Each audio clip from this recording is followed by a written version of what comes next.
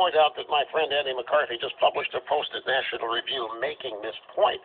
Now, that doesn't mean that if, for example, she is called to testify before a committee or two, or if she has to do an FBI interview, and she's been interviewed before, what what if they could get her on a process crime? What if she has lied? Look, this woman lies repeatedly. She lied to Andrea Mitchell, NBC News Washington, or she lied to whoever she spoke to prior to Andrea Mitchell, or she lied about Benghazi. The woman lies.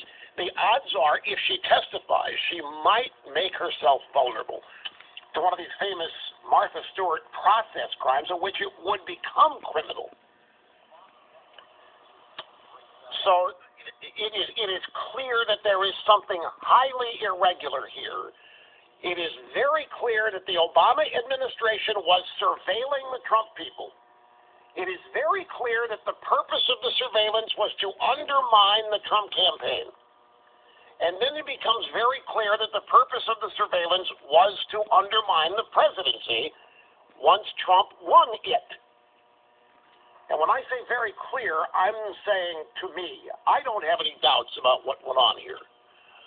And I think it's splitting hairs to say, well, they weren't really targeting Trump officials. How do you know?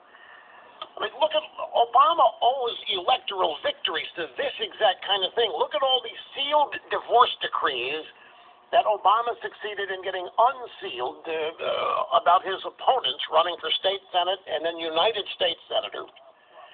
Uh, we, we know that Obama wiretapped and spied on Angela Merkel